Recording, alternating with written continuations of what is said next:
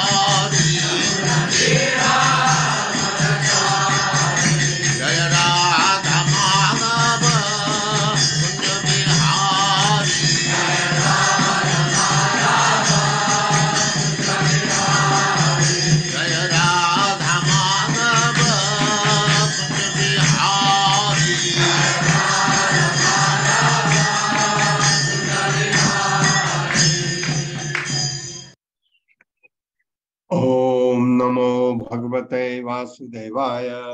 ओम नमो भगवते वासुदेवाय। ॐ नमो भगवते वासुदेवाय। ओम नमो भगवते वासुदेवाय। ॐ नमो भगवते वासुदेवाय।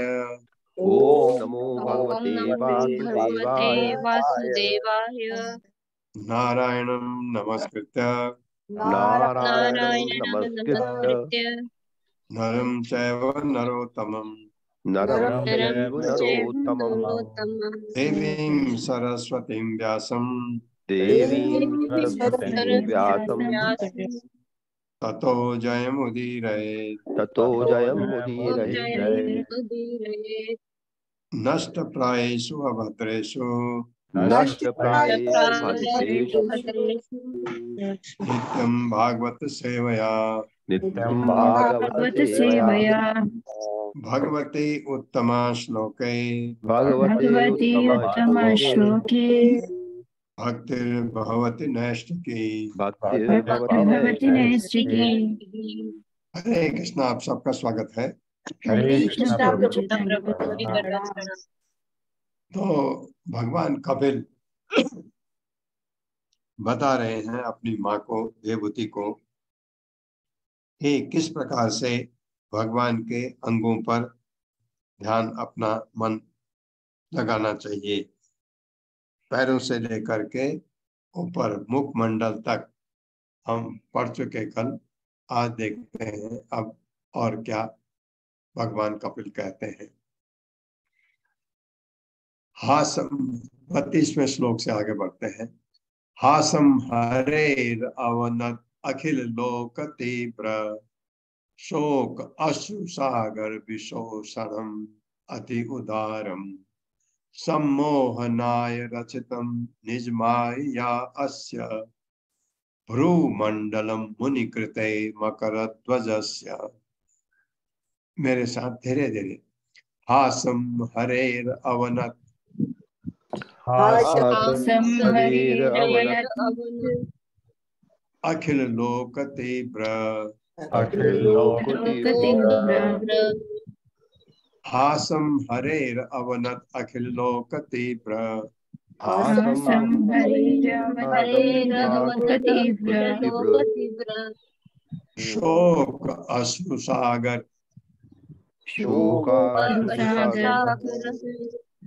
विशोषणम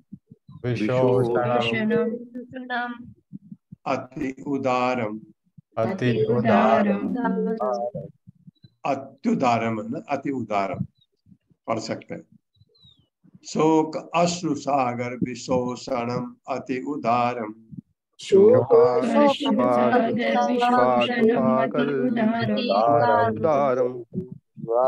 सम- सम्मोहनाय रचितम। रचितम्। निज माया अस्य। सम्मोहनाय रचितम। निज माया अस्य मोहनाय रचितं निजमायास्य भ्रूमण्डलं मुनिकृते मकरध्वजस्य।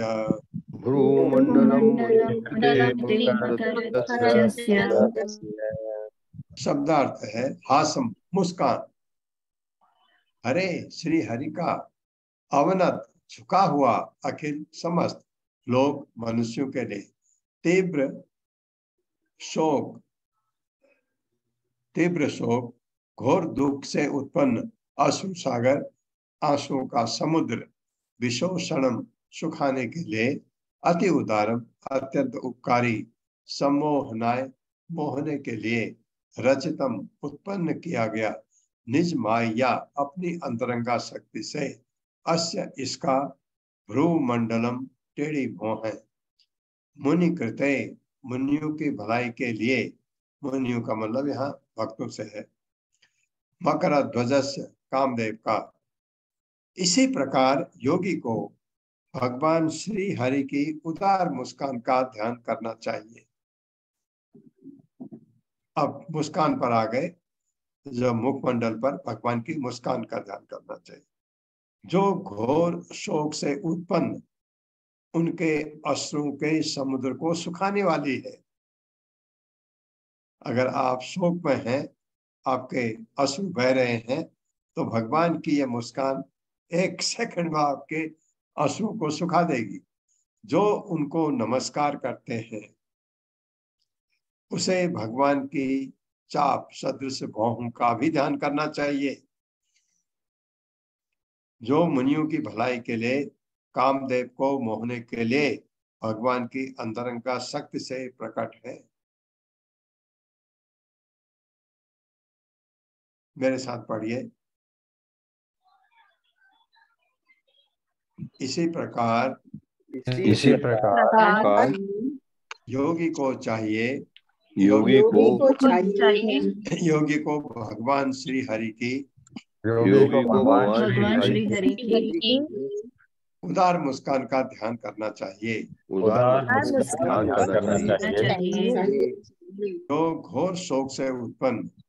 जो घोर शोक से उत्पन्न। उनके अश्रुओं के समुद्र को सुखाने वाली है। उनके अश्रुओं के समुद्र को सुखाने वाली है। किसके जो उनको नमस्कार करते हैं। जो उनको नमस्कार नमस्कार करते हैं। उसे भगवान की चाप सदृश भौहों का भी ध्यान करना चाहिए। उसे उसे भगवान की के चाप का भी ध्यान करना चाहिए। ध्यान करना चाहिए। करना चाहिए। जो जो मुनियों की भलाई के लिए जो मुनियों की भलाई के लिए कामदेव को मोहने के लिए कामदेव को मोहने के लिए भगवान की अंतरंगा शक्ति से प्रकट है। भगवान की अंतरंग शक्ति से प्रकट है। है। तात्पर्य माता जी। हरे कृष्णा हर्षा माता जी। हरे कृष्ण माता जी हरे कृष्ण प्रभु जी। शील प्रभुपाद की जय शील प्रभुपाद द्वारा तात्पर्य। यह सारा ब्रह्मांड कष्टों से परिपूर्ण है। अतः इस ब्रह्मांड के निवासी गहन से सदैव आँसू बहाते रहते हैं। ऐसे अश्रुओं से जल का विशाल समुद्र तैयार हो जाता है। किंतु जो भगवान की शरण में चला जाता है, उसके लिए आंसुओं का यह समुद्र तुरंत सूख जाता है। उसे केवल भगवान की मोहक मुस्कान के दर्शन करने की आवश्यकता होती है। दूसरे शब्दों में, भगवान की मोहक मुस्कान के दर्शन होते ही संसार का सारा शोक शमित हो जाता है। इस श्लोक में कहा गया है कि भगवान की बोहें इतनी मोहक है कि इससे इंद्रिय आकर्षण के सौंदर्य भूल जाता है। काम का देवता मकर ध्वज कहलाता है। भगवान की मोहक बोहें भक्तों और मुनियों के भौतिक वासना तथा काम वासना से मोहित होने से बचाती है। महान आचार्य यमुनाचार्य ने कहा है कि जब से उन्होंने भगवान की मोहक लीलाओं लीलाएँ देखी तब से उनके लिए विषय जीवन के सारे आकर्षण भय बन गए हैं। और विषय सुख का विचार उठते ही उस पर थूक कर वे अपने अपना मुँह मोड़ मुँह मोड़ लेते हैं। अतः यदि कोई काम वासना से विलग रहना चाहता है तो उसे भगवान की मनोहरी बोहों तथा मोहक मुस्कान को देखना चाहिए। हरे कृष्ण हम्म। प्रभु जी। ये ये ये कह रहे हैं, बहुत ही अच्छा वर्णन किया गया है ये, कि इस श्लोक में कहा गया है कि भगवान की भौहें इतनी मोहक हैं कि उससे इंद्रिय आकर्षण का सौंदर्य भूल जाता है। मनुष्य को ये जो कामदेव के लिए उन्होंने ज़िक्र किया है, जो काम वासना आपको किसी रूप को देख के हो, वो छुम अंतर हो जाएगी, क्योंकि आप इतनी सुंदर चीज़ को देख चुके हैं, इन चीज़ों के लिए आपका आकर्षण होगा ही नहीं। जैसे मैं आपको हमेशा बताता हूँ कि अगर आप को बहुत अच्छी मिठाई मिल जाए, आप गुड़ मिश्री खाना भूल जाएँगे, और उससे भी अच्छा कोई शहद से बना हुआ कोई चीज़ मिल जाए, आप ये नीचे की मिठाइयाँ सब भूल जाएँगे। इसी तरह से कि आपका जो आनंद किस स्तर का है? वो अगर भगवान की मुस्कान मिल गई, फिर इस भौतिक जगत की कोई भी चीज़ आपको उतनी सुंदर लग ही नहीं सकती। उसी उसी तरह से भगवान की भावों का वर्णन किया गया कि वो जो अपने भगवान के भावों की जो चाल है, वो उनकी अंतरंगा शक्ति से प्रकट होती है। ये बताया, वो आकर्षण इतना है। फिर आपको भौतिक जगत में किसी चीज़ से ऐसा आकर्षण होगा ही नहीं नहीं कि आपको इंद्र सुख की कामना हो हो ही नहीं सकता। तो इसलिए आपको भगवान के उस चितवन पर, उस स्मित स्मित कहते हैं, भगवान की थोड़ी सी हँसी मुस्कान। हँसी नहीं हो, मुस्कान। मुस्कान भरी जो चितवन है उस पर वो आपको अगर मिल जाए तो आपको ध्यान करना है। तो ये ध्यान उस पर करना चाहिए करके ऐसे इस श्लोक में बताया गया।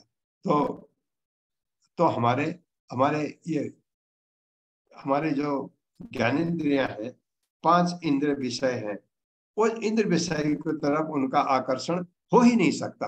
अगर हम भगवान के इस इस रूप में भगवान का ध्यान करें, भगवान की मुस्कान पर भगवान के बाहों पर अपना ध्यान करे। मुनि, योगी, कोई भी तो उसका भौतिक चीज़ों से आकर्षण हो ही नहीं सकता। है पैतीसवा श्लोक। ध्यान अयनम प्रहसितम बहुल आदरोस्त। भास अरुण अरुणायत तनु द्विज कुंद पंक्ति पंक्ति। ध्यायेद स्वदेह कुहरे अवसितस्य विष्णो। भक्त्या आद्रे अर्पित मनान पृथक दिदृक्षेत मेरे साथ ध्यान अयनम। प्रहसितम प्रहसितं बहुलादरोष्टा ध्यान ध्यान अयनम प्रहसितम बहुलादरोष्टा ध्यानं प्रहसितं बहुलाधरष्ट भास अरुणायत। करुणायित तनु। तनु। द्विज। द्विज। कुंद पंक्ति पंक्ति भाषा भास अरुणायत तनु द्विज कुंद पंक्ति द्विज कुंद पंक्ति ध्याये तो स्वदेह कुहरे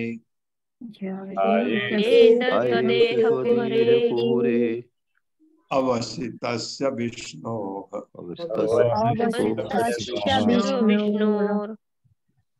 विष्णो। या विष्णोर जैसे कहें नीचे का र उड़ जाएगा जो भग भ के ऊपर। भक्त्या आर्द अच्छा मेरे साथ पूरा नहीं पढ़ा ना। ध्याये तो स्वदेह कुहरे अवसितस्य विष्णो।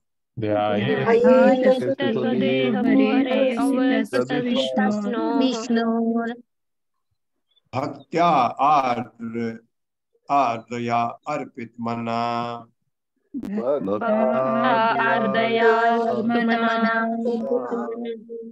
भक्त्या आर्द्र आर्द्रया अर्पित मना न पृथक पृथक अब पूरा पढ़ते हैं। पूरा उसमें ध्यान लगा के पढ़िए। भक्त्या आर्द्र आर्द्रया अर्पित मना न पृथक दिदृक्षेत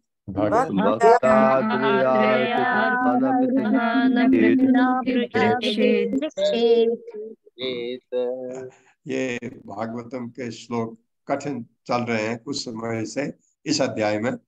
अगले अध्याय में आपको इजी हो जाएगा। शब्दार्थ है, ध्यान अयनम। सरलता पूर्वक ध्यान किया गया।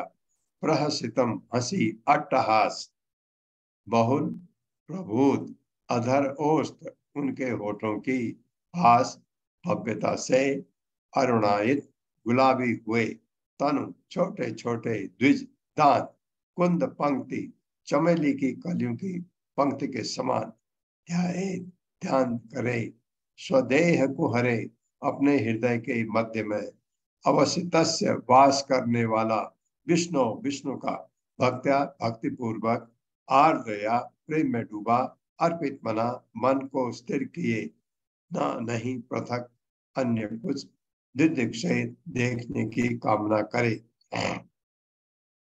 योगी को चाहिए कि प्रेम में डूबा हुआ भक्ति पूर्वक अपने अंतरम में भगवान विष्णु का अट्टहास का ध्यान करे। अब अट्टहास का ध्यान। उनका यह अट्टहास इतना मोहक है कि इसका सरलता से ध्यान किया जा सकता है। भगवान के हँसते समय उनके छोटे छोटे दांत चमेली की कलियों जैसे दिखते हैं और उनके होठों की कांति के कारण गुलाबी प्रतीत होते हैं।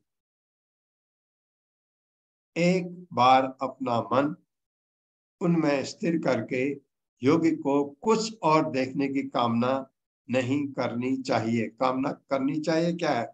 होगी नहीं कामना देखने की।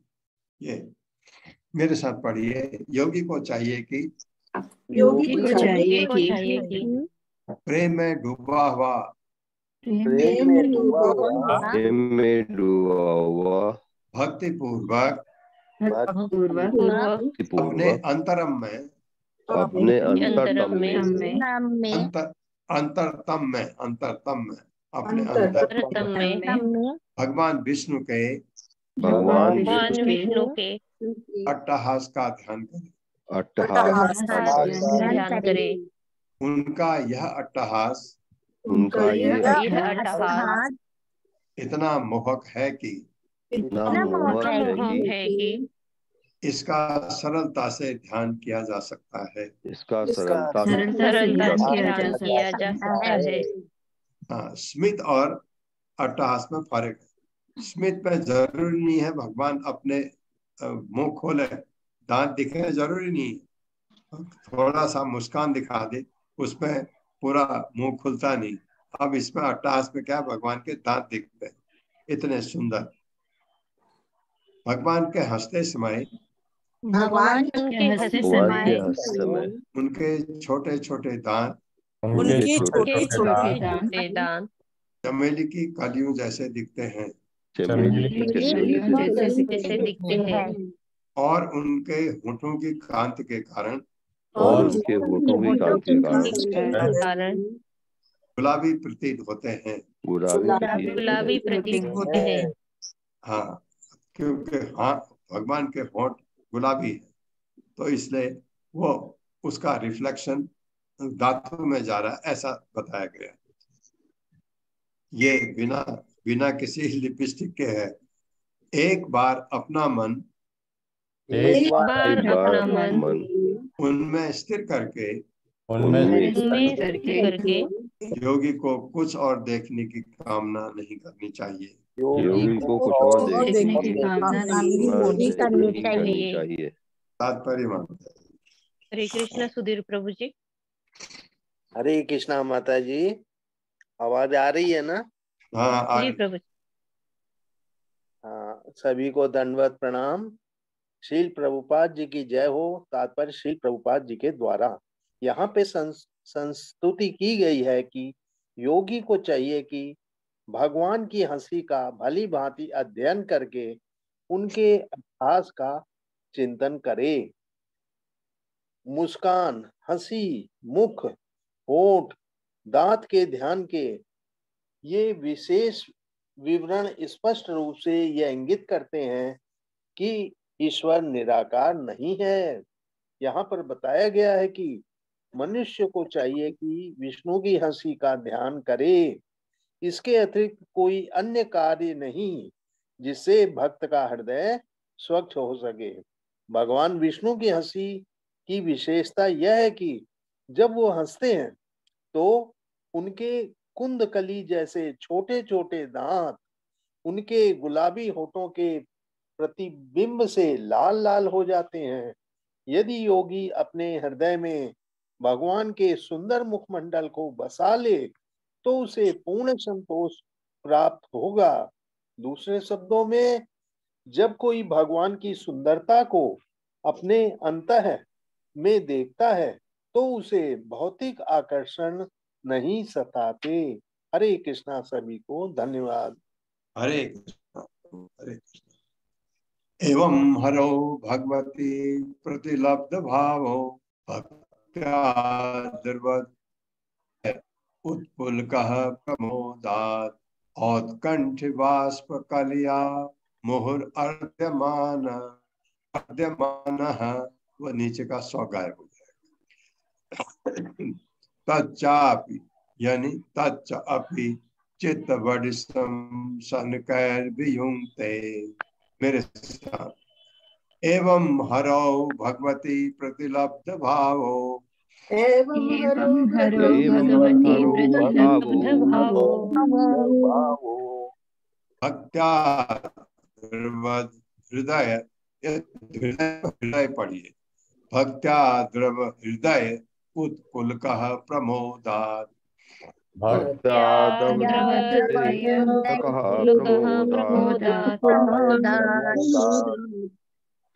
औत्कंठ बाष्प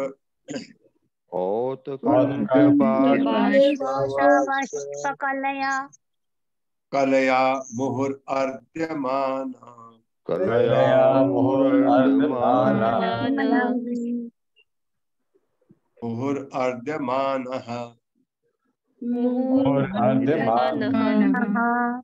हाँ वह विसर्ग नीचे का सौ गायब हो होकर ऊपर विसर्ग आ जाए औत कंठ वाष्प कलिया मुहुर अर्धमान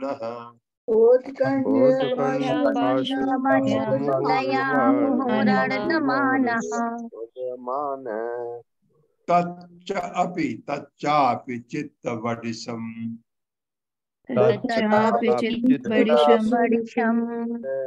तनकै वियुङ्क्ते शनकैर्वियुङ्क्ते। तच्चापि चित्त वडिसम शनकैर्वियुङ्क्ते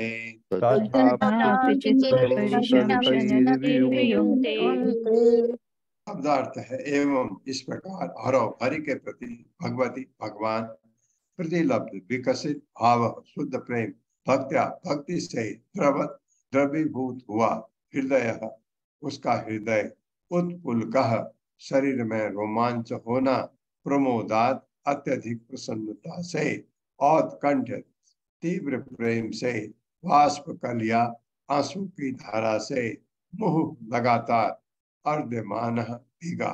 तत्व यथा अपि भी चित्त मन बड़िसम पंसी कंठ, कंठिया सन के धीरे धीरे वियुंगते हटा लेता है। इस मार्ग का अनुसरण करते हुए धीरे धीरे योगी में हरि, भगवान हरि के प्रति प्रेम उत्पन्न हो जाता है। यह है आखिरी पड़ाव। आखिरी गंतव्य जो है हमारा, भगवान से प्रेम होना, बस। प्रेम जब आपका भगवान से हो जाए तो वह आपके जीवन का लक्ष्य, आखिरी लक्ष्य है। इस प्रकार भक्ति करते हुए अत्यधिक आनंद के कारण शरीर में शरीर में रोमांच होने लगता है। आपके शरीर के बाल खड़े होने लगते हैं और और और और भाव भी उत्पन्न होते हैं शरीर और गहन प्रेम के कारण शरीर अश्रु की धारा से नहा जाता है। आपको पता ही नहीं लगता है जब आपका भगवान से प्रेम होता है, आपके आँसू से अश्रु की धारा निकल के पूरा शरीर आपका गीला हो जाता है। यहाँ तक कि धीरे धीरे वह मन भी वह मन भी भौतिक कर्म से विमुख हो जाता है। जब यह अवस्था आती, मन सोचता है मैं कहाँ भटक रहा था? यहाँ लग जाओ। तो मन आपका दोस्त हो जाता है, जिसे योगी भगवान को आकर्षित करने के साधन रूप में प्रयुक्त करता है। जिस प्रकार मछली को आकर्षित करने के लिए कटिया, एक कांटा डालते हैं ना, प्रयुक्त की जाती है। मेरे साथ पढ़िए, इस मार्ग का अनुसरण करते हुए इस मार्ग का अनुसरण करते हुए धीरे धीरे भगवान हरि के प्रति भगवान हरि के भगवान हरि के प्रति के प्रति प्रेम उत्पन्न हो जाता है। प्रेम उत्पन्न हो जाता है। इस प्रकार भक्ति करते हुए इस प्रकार भक्ति करते हुए अत्यधिक आनंद के कारण। अत्यधिक आनंद का कारण। शरीर में रोमांच होने लगता है। शरीर में रोमांच होने लगता है। और गहन प्रेम के कारण। और गहन प्रेम के कारण। शरीर अश्रु की धारा से नहा जाता है। शरीर अश्रु की धारा से नहा जाता है। से नहा जाता है। यहाँ तक कि यहाँ तक धीरे धीरे धीरे धीरे वह मन भी वह वह मन मन भी। भौतिक कर्म से विमुख हो जाता है। भौतिक कर्म से विमुख हो जाता है हो। जिसे योगी भगवान को जिसे योगी भगवान योगी भगवान को आकर्षित करने के साधन रूप में प्रयुक्त करता है। आकृष्ट करने के साधन में साधन है। हाँ मन को मन को यूज़ करता है। भगवान फिर आपको मन मदद करता है। भगवान की तरफ़ ले जाता है। जिस प्रकार मछली को जिस प्रकार मछली मछली को आकर्षित करने के लिए करने के लिए लिए कंटिया प्रयुक्त की जाती है। प्रयुक्त की जाती है। हाँ, तात्पर्य। हरे कृष्ण सुषमा बत्रा माता जी। हरे कृष्णा माता जी। प्रभु जी हरे कृष्णा दंड प्रणाम। हरे कृष्ण माता अ, तात्पर्य प्रभुपाद जी की जय प्रभुपाद जी के द्वारा। यहाँ पर यह स्पष्ट बताया गया है कि ध्यान जो कि मन का कर्म है, समाधि की पूर्ण अवस्था नहीं है। प्रारंभ में मन का उपयोग भगवान के स्वरूप को आकर्षित करने के लिए किया जाता है। किंतु उच्चतर अवस्थाओं में मन का, मन को प्रयोग करने का प्रश्न ही नहीं उठता। भक्त अपनी इंद्रियों की शुद्धि के द्वारा भगवान की सेवा करने लगता है। दूसरे शब्दों में, जब तक कोई शुद्ध भक्ति को प्राप्त कर नहीं लेता तभी तक योग के ध्यान की आवश्यकता पड़ती है। मन का उपयोग इंद्रियों को शुद्ध करने में किया जाता है किंतु जब ध्यान द्वारा इंद्रियाँ शुद्ध हो जाती हैं शुद्ध हो जाती हैं तो हाँ जी तो किसी स्थान पर बैठकर भगवान के स्वरूप का ध्यान करने की आवश्यकता नहीं रह जाती। मनुष्य इतना अभ्यस्त हो जाता है कि वे स्वतः ही भगवान की सेवा में लग जाता है। जब मन को बलपूर्वक ईश्वर के स्वरूप स्वरूप में लगाया जाता है। हाँ जी बलपूर्वक पूर्वक ईश्वर के स्वरूप में लगाया जाता है तो जो यह निर्बीज योग अर्थात प्राणहीन योग कहलाता है क्योंकि योगी स्वतः भगवत भक्ति में नहीं लगता किंतु जब वह निरंतर भगवान का चिंतन करता होता है तो वह सबीज योग या जीवित योग कहलाता है। मनुष्य को इसी सबीज योग तक पहुँचना होता है।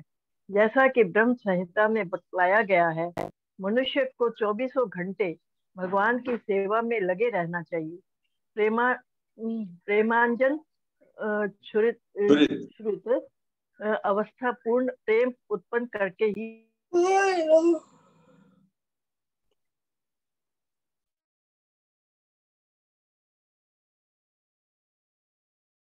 हरे कृष्ण माता जी हरे कृष्ण माता जी मैं कंटिन्यू करती हूँ प्रेमांज प्रेमांजन छुरित अवस्था पूर्ण प्रेम उत्पन्न करके ही प्राप्त की जा सकती है। जब भक्ति में भगवान के लिए पूरी तरह से प्रेम उत्पन्न हो जाता है तो वह उनके स्वरूप पर कृत्रिम रूप से ध्यान किए बिना ही भगवान का दर्शन कर सकता है। उसकी दृष्टि दिव्य रहती है, क्योंकि उसके पास कोई कार्य नहीं रहता। आत्म साक्षात्कार की इस अवस्था पर मन को कृत्रिम रूप से लगाने की आवश्यकता नहीं रह जाती। क्योंकि निम्न अवस्थाओं में ध्यान की संस्तुति भक्ति पद तक पहुँचने के लिए की जाती है। अतः जो पहले से भगवान की दिव्य प्रेमा भक्ति में लगे हैं, वे ऐसे ध्यान से ऊपर है। यह पूर्णता की अवस्था कृष्ण चेतना यानी भक्ति कहलाती है। हरे कृष्ण। हरे कृष्ण। ये ये ये अवस्था ऐसी है जिसमें आपको मन परेशान नहीं करता। अभी हम कितने परेशान होते मन से। मन, हरे कृष्ण हरे कृष्ण कृष्ण कृष्ण, हरे हरे हरे राम हरे राम राम राम, हरे हरे। करते हैं, मन शुरू में रहता है, मन कहाँ का, कहाँ चला जाता है है ना? लेकिन जब आप धीरे धीरे धीरे धीरे प्रोग्रेस कैसे पता लगती है आपको? अब मन बाहर कम जाता है। मन आपका दोस्त बनने लगता है। ये वो अवस्था है, बाद में कह रहे बात अब उसको सोचने का ज़रूरत भी नहीं होता ये अवस्था जब आती है। जो जो प्रेमांजन छोड़ित भक्ति विलोचने ये वाली जो स्थिति आती है, वो प्रेम का अंजन उसके आँखों में चढ़ जाता है। वो जहाँ देखता, भगवान ही दिखता है उसको। आँख बंद करता, हृदय में भगवान को आराम से देख सकता है। ये स्थिति आ जाती है। तो ये धीरे धीरे ऐसे ध्यान लगा करके योगी इस स्थिति में पहुँच जाता है। पैंतीसवां श्लोक मुक्त स्वयं यर्हि निर्विषयं विरक्तम निर्माणम रिच निर्माणम रिच्छति मनः सहसा यथार्थी। आत्मन आत्मानम अत्र आत्मानम अत्र पुरुषो अव्यधान मेकम मेकम नीचे का माँ उठा दीजिए ऊपर। पुरुषो अव्यवधान मेकम अन्वीक्षते प्रतिनिवृत्त गुण प्रवाह। मेरे साथ। मुक्ताश्रयम यर्हि निर्विषयम विरक्तम। मुक्ता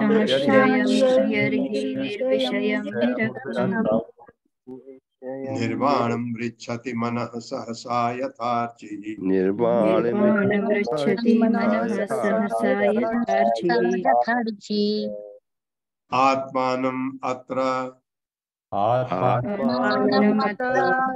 पुरुषो अव्यवधानमेकम। पुरुषो आत्मानम अत्र पुरुषो अव्यवधानमेकम।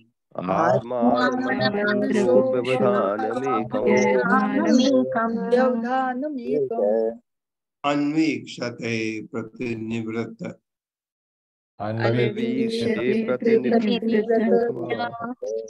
गुण प्रवाह गुण प्रवाह अन्वीक्षते प्रतिनिवृत्त गुण प्रवाह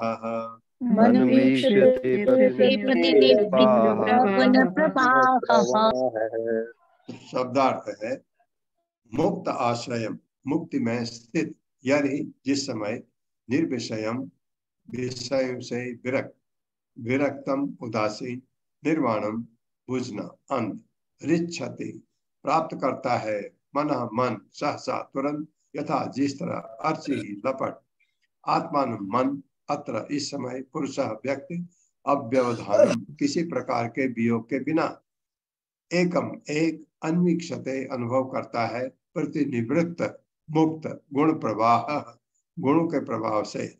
इस प्रकार जब मन समस्त भौतिक कलम से रहित और विषय से विरक्त हो जाता है, ये अब बहुत ही ऊपर की अवस्था है। आपका मन भौतिक कलम से साफ़, गंदगी गई सब। विषय से विरक्त हो जाता है। कहीं नहीं। अब इंद्र विषय में लगने का सवाल ही नहीं। तो यह दीपक की लौ के समान हो जाता है।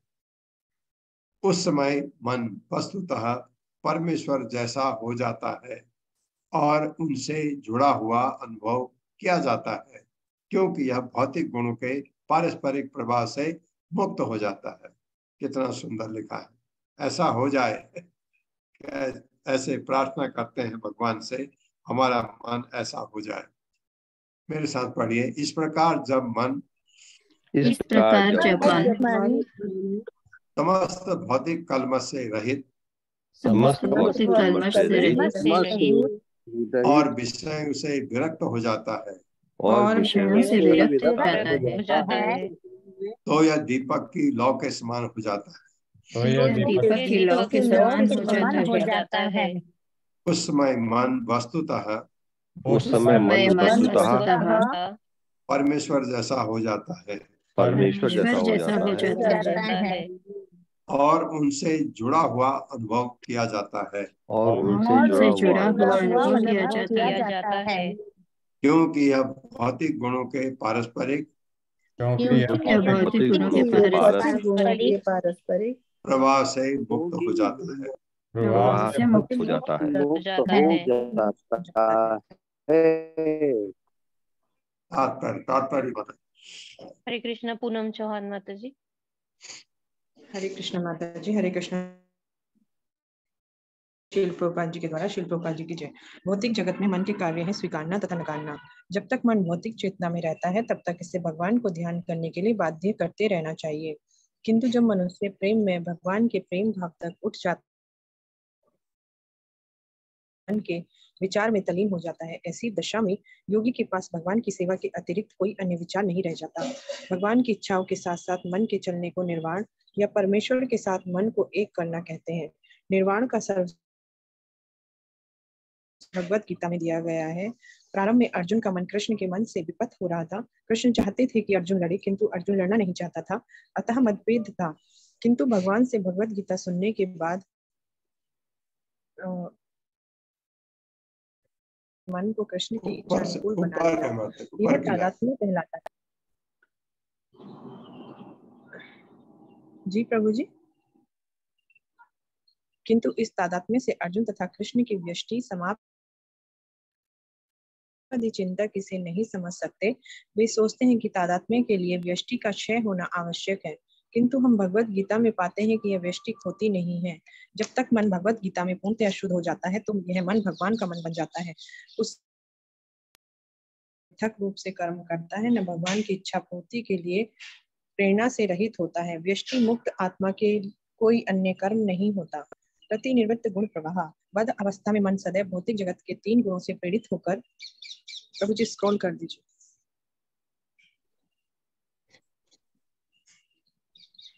हरे कृष्ण।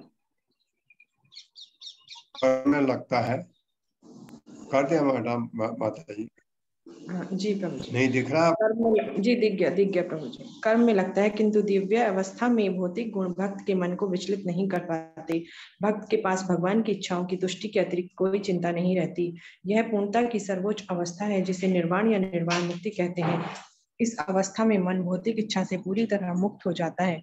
यथार्चिही अर्चिही का अर्थ है लो लपट। जब दीपक टूट जाता है या तेल चुक जाता है तो दीपक की लो बुझ जाती है।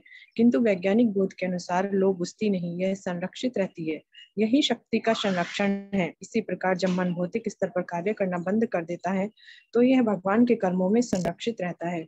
यहाँ पर मायावादी चिंतकों के मन के कर्म में के रुद्ध होने की कल्पना की व्याख्या की गई है। मानसिक क्रिया के रुद्ध होने का अर्थ है, प्रकृति के तीन गुणों के प्रभाव से होने वाली क्रियाओं का अवरुद्ध होना। हरे कृष्ण प्रभु जी। अवरुद्ध होना। ये जब मन इस अवस्था में आ जाता है तो प्रकृति के तीन गुण से आप परे हो जाते हैं। और क्या हुआ? आप शुद्ध सत्व में चले गए। ये अवस्था ध्यान लगाते लगाते ये अवस्था आपकी आ सकती है। भगवान कपिल बता रहे हैं। आप भगवान के चरण कमलों से धीरे धीरे ध्यान लगाते लगाते मुँह में, फिर उनके चितवन में, फिर उनके अट्टहास में, ऐसा करते करते आपको ये प्रेम भगवान से जागने लगता है। भगवान से प्रेम जागना ये हमारे भक्ति की आखिरी आखिरी सोपान है भक्ति भक्ति का। जब प्रेम जाग गया तो आपको ये अवस्थाएँ, रोमांच हो, शरीर में में आपके ये सिम्टम्स आएँगे, ये लक्षण आएँगे कि आँसू बहेंगे आँखों से, मन आपका इधर उधर नहीं जाएगा, भगवान पर टिक जाएगा। भगवान के और मन ही हमारा सबसे बड़ा दुश्मन है, और यही मन आपको भगवान की से मिला रहा है। देखिए, मन क्या कहा है? भगवत गीता में महान शत्रु भी है, महान मित्र भी है। मित्र है तो आपको वो भगवान से ऐसे मिलाता है कि आप, आप- हर समय आपको भगवान ही दिखाए ये काम करता है। तो इसकी तुलना आग से की गई थी कि आग को अगर कंट्रोल में करो तो कुछ भी कर सकते हैं। हवाई जहाज़ चला सकते हैं रॉकेट उड़ा सकते हैं कंट्रोल अगर है, आग कंट्रोल नहीं है तो सब तबाह कर सकती है। यही मन हमको तबाह भी कर सकता है, यही मन हमको भगवान तक पहुँचा सकता है। तो भग, मन को अपना मित्र कैसे बन, बना सकते हैं?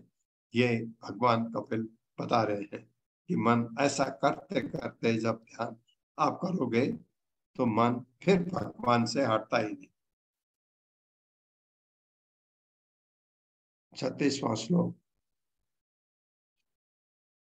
सो अपि एतया सो अप्येतया है, सो अपि एतया चर्मया मनसो निवृत्त्या, तस्मिन् महन्मि अवसितः सुख दुःख वाये हेतुत्वम् अपि असति कर्तरि दुःख, दुःखयोर्यत् स्व आत्म आत्म आत्मन विधत्त उपलब्ध परा परात्मकाष्ट।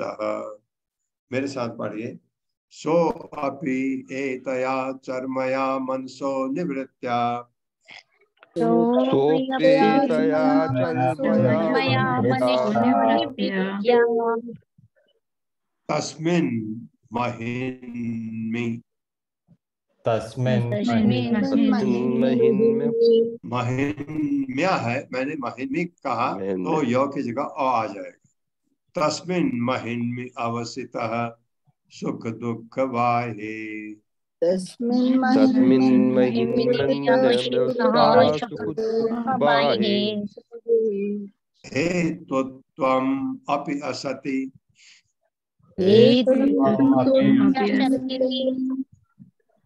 हे तो त्वम अपि असति कर्तरि दुःखयोर्यत्।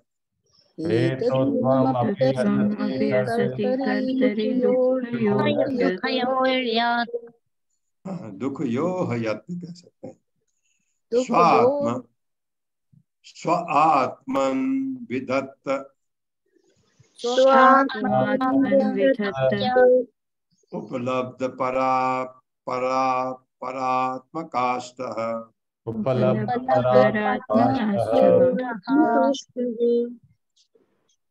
आत्मन उपलब्ध पर आत्मकाष्ट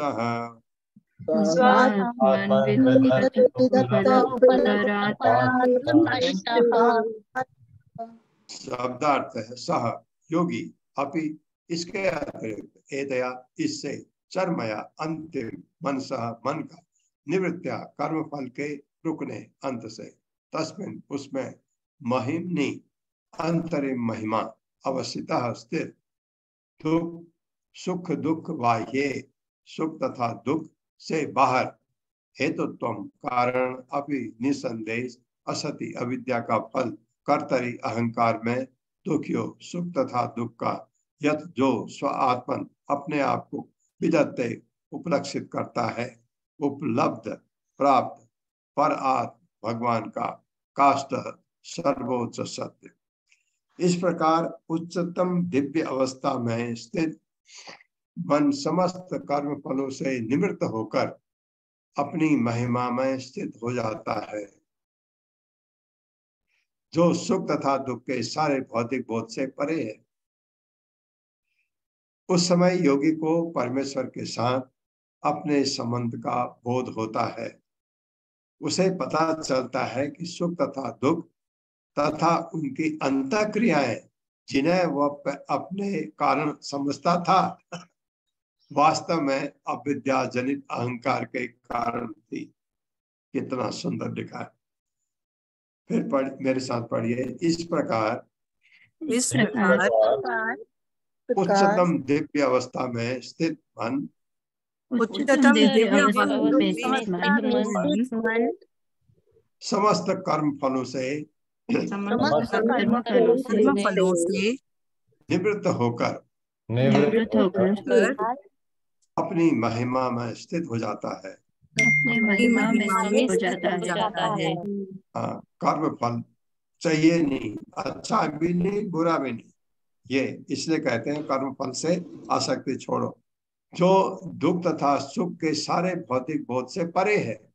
जो तथा दुख के सारे भौतिक भौतिक परे बोध। से परे उस समय योगी को उस समय योगी को परमेश्वर के साथ परमेश्वर के साथ अपने संबंध का बोध होता है।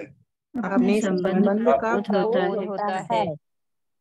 उसे पता चलता है कि उसे पता चलता है कि सुख तथा दुख सुख तथा तथा दुख तथा उनकी अंत क्रियाएँ तथा उनकी उनकी अंतक्रियाएँ अंतक्रियाएँ जिन्हें वह वह अपने कारण समझता था जिन्हें वह अपने कारण समझता था। वास्तव में वास्तव में अविद्या जनित अहंकार के कारण थी। अविद्या के कारण कारण थी हाँ। ये समझ आने लग जाता है उसको ये बात। तात्पर्य माता जी।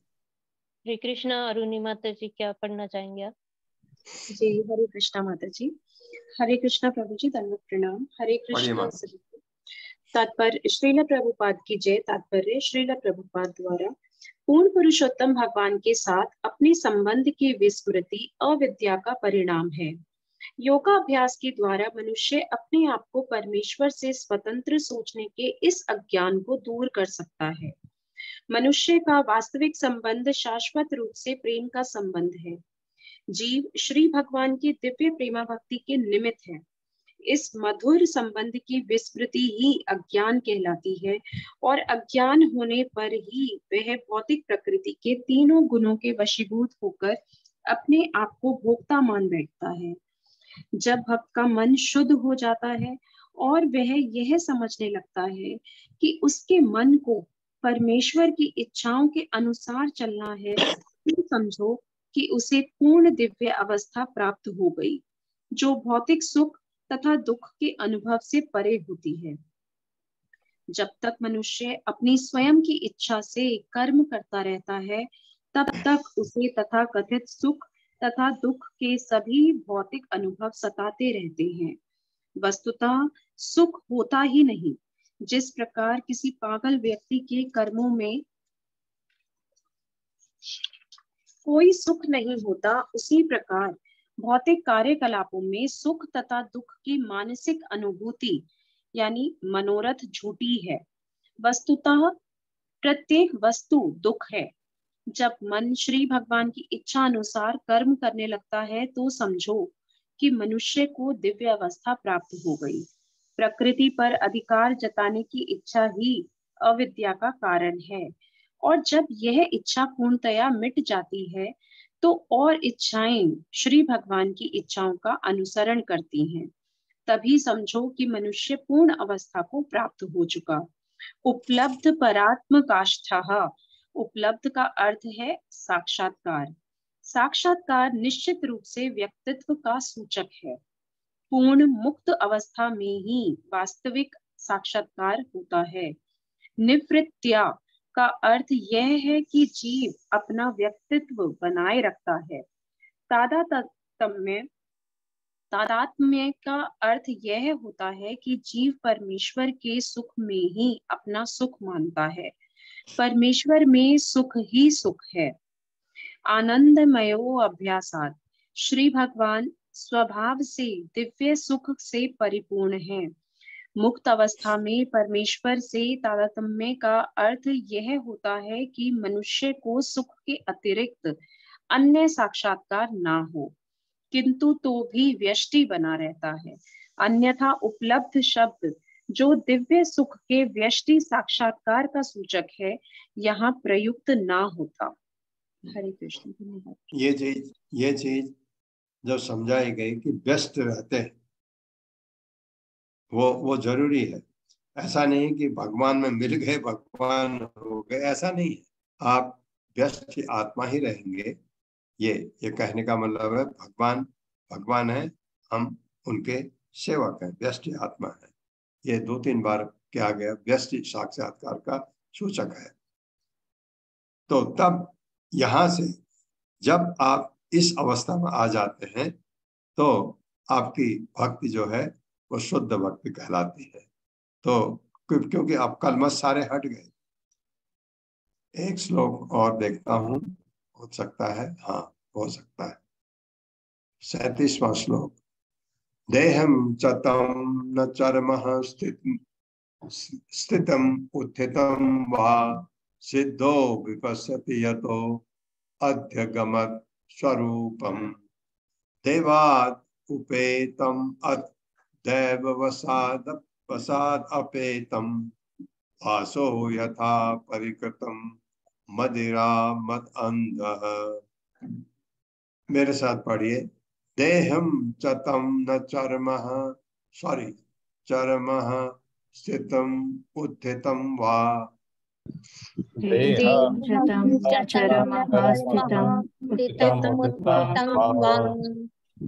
सिद्धो विपश्यति यथो अद्यगमत्। सिद्धो विपश्यति स्वरूपम। सिद्धो विपश्यति यतो अध्यगम स्वरूपम। सिद्धो विपश्यति दैवात् उपेतम उपेतम अत दैव वसादपेतम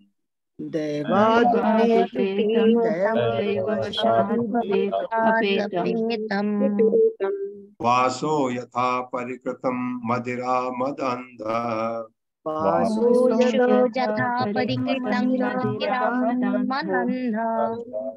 शब्दार्थ है देहम भौतिक शरीर तथा तम वह न नहीं चर्म अंतिम। स्थितम आसे उत्थितम उठा हुआ वा अथवा सिद्ध सिद्ध जीव विपश्यति, सोच सकता है। यतः क्योंकि अद्यगमत प्राप्त कर चुका है, स्वरूपम अपनी असली पहचान दैवात भाग्य के अनुसार प्रेतम पहुँचा हुआ अथ और भी दैव वसात भाग्य के अनुसार अपेतम गया हुआ वासह वस्त्र यथा जिस तरह परिकृतम पहने गए, मदिरा मद अंध शराब पीने से अंधा हुआ। अपना असली स्वरूप प्राप्त कर लेने के कारण पूर्णतया सिद्ध जीव को इसका कोई बोध नहीं होता कि यह भौतिक देह किस तरह हिलडुल रही है या काम कर रही है। वह जिस तरह की नशा किया हुआ व्यक्ति यह नहीं समझ पाता कि वो अपने शरीर में वस्त्र धारण किए है अथवा नहीं तो इसका मतलब लगते है ना, आपको सिद्ध पुरुष पागल की तरह भी लग सकता है कभी कभी मेरे साथ पढ़िए अपना असली स्वरूप प्राप्त कर लेने के कारण।